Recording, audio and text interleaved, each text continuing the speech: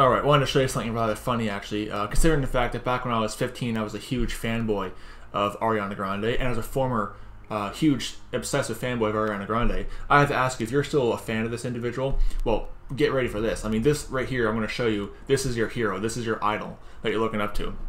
So it turns out on this article, this is on uh, Daily News. Turns out that Ariana Grande actually demands to be carried around like a little baby when she's tired says in this article.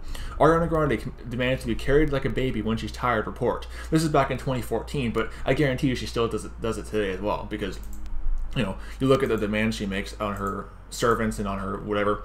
Uh, they're pretty interesting to say the least. But if you're a follower or a fan of Ariana Grande, this is your idol right here. Watch this. And, and by the way, you say, well, that was that was almost eight years ago. Do you think do you think much has changed? I don't think so, but Anyway, says pop princess Ariana Grande wants to be swept off her feet, literally. The 21 year old pop star insists on being carried when she's too tired to walk. Life and Style reports. Quote, her new rule is that she has to be carried, literally carried like a baby, when she doesn't feel like walking, unquote, a source told the site. Seriously?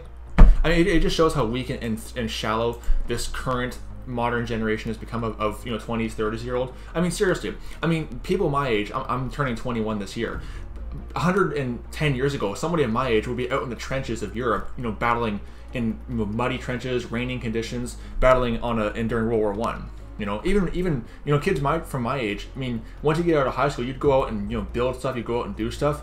But now today, if you don't feel like walking, you got to be carried to your car. I mean, seriously, wow. This, I mean, again, if you're a fan of, of like I once was, this is your idol right here. But it says here, she says she doesn't want her precious feet to hit the floor, unquote. Uh, the, the insider added, who reportedly saw Grande demand to be carried by her staff while filming a music video and during rehearsals for Victoria's Secret fashion show, which aired Tuesday. I mean, seriously, really? Oh, I don't want my little feet to hit the floor. So, um, isn't that what shoes are for? I mean, if you're not gonna, if you're gonna wear shoes, you, you know, and you don't want them touching the floor, what? Insane.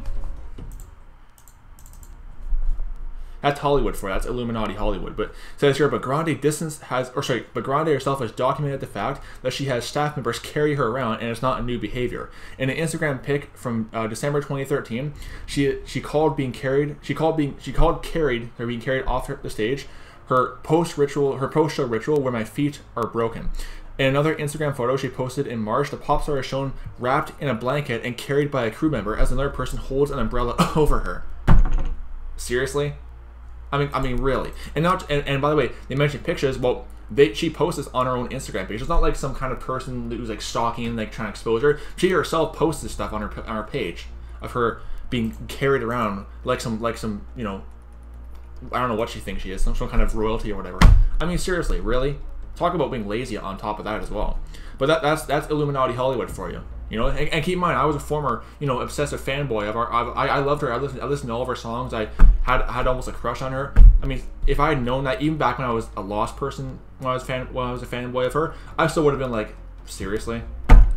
You know, it just it's insane. But that's that is again that's Illuminati Hollywood for. That's the kind of, of just weird stuff that comes out of Illuminati Hollywood. That these Illuminati celebrities are, are, are getting into.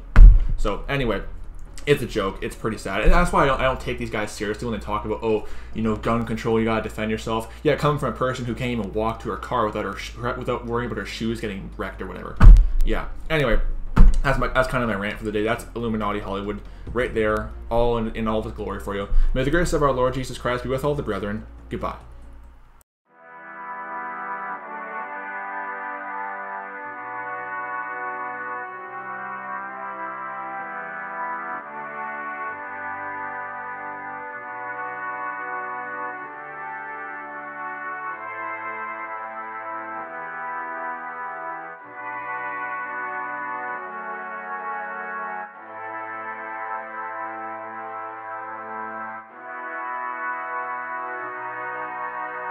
Bye.